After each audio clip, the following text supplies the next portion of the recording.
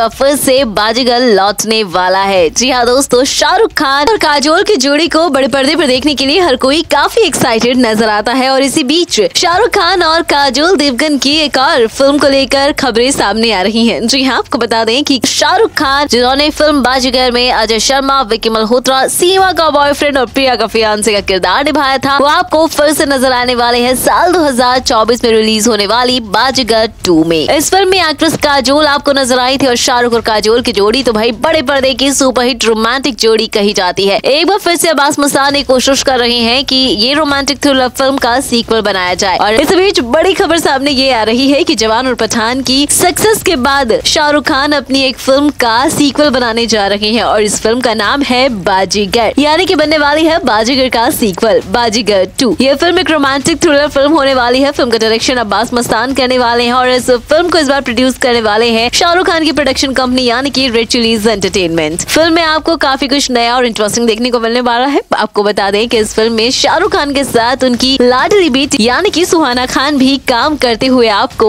नजर आने वाली है वेल well, ये फिल्म फिर से रोमांटिक थ्रिलर फिल्म होने वाली है देखना काफी दिलचस्प होगा फिल्म में शाहरुख और काजोल का एक किरदार एक बार फिर से वही जादू चला पाता है या नहीं जो उन्होंने 1993 में चलाया था फिलहाल आप कमेंट करके बताइए कि शाहरुख और काजोल को एक साथ देखने के लिए आप कितने एक्साइटेड है